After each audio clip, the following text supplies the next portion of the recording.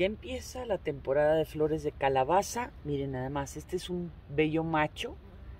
El pistilo es nada más como un palito y eso es un macho. Son los primeros que salen en la temporada. Lo vamos a cortar. Miren qué belleza.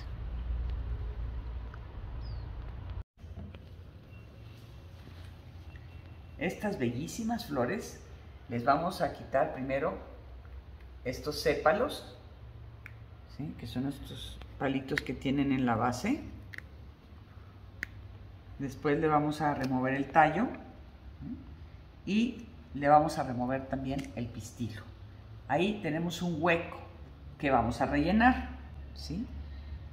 Ya tenemos las dos listas para rellenar. Tengo dos rellenos. Una la voy a rellenar con estos honguitos que me sobraron del desayuno, son hongos de lluvia, es un guiso de hongos. Mmm, miren qué rico. Así la vamos a rellenar. ¿sí? A la otra le voy a poner un trocito de queso panela, un queso fresco, y lo vamos a usar para rellenar aquí. Y ahora lo que sigue es hacer el capeado. Vamos a calentar suficiente aceite a fuego medio. Vamos a sazonar con un poquito de sal y si gustan pimienta, yo en este caso solo le voy a poner un poco de sal a la harina para que tenga sabor.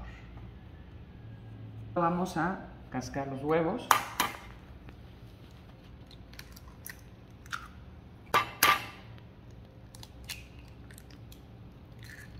También los vamos a sazonar con un poco de sal, una pizquita y voy a batir. Esto me va a servir de liga para que se le pegue la harina a la flor. Pasamos por el huevo, escurrimos el exceso y pasamos por la harina.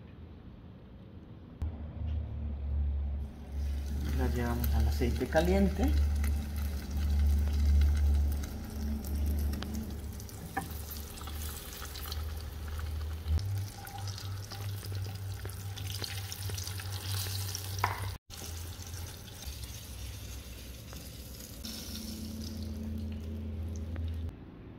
Y ahora sí, emplatamos.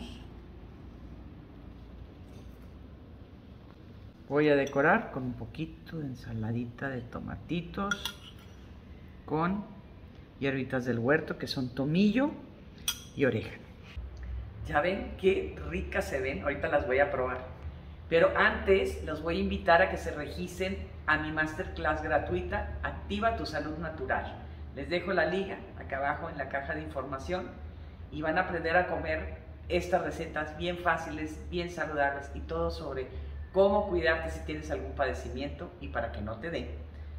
Vamos a ver qué tal. Mm. Uf.